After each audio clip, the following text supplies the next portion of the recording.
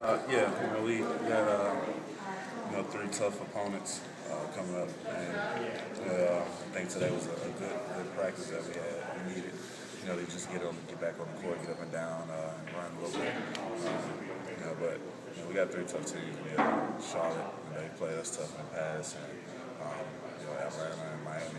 You know, we know we know how good they are. So.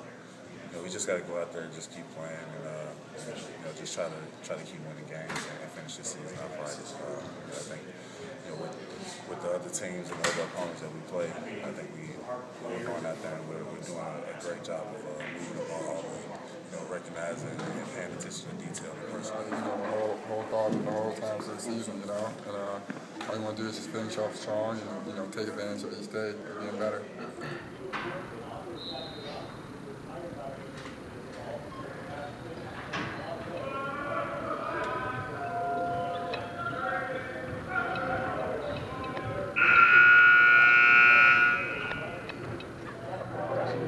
Right. Of course, like Square is not fun when you say, you know, play with the back. Yeah, so I think that has something to do with what you're saying.